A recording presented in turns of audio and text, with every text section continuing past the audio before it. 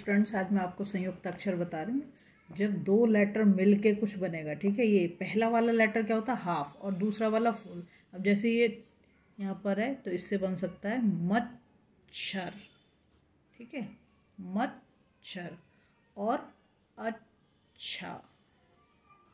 अब यहाँ पर यह है तो यहाँ पर प्यार और प्यास।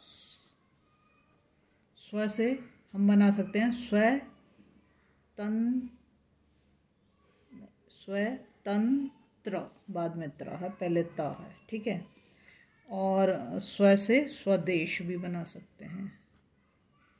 न्य से न्यारा और अन्य।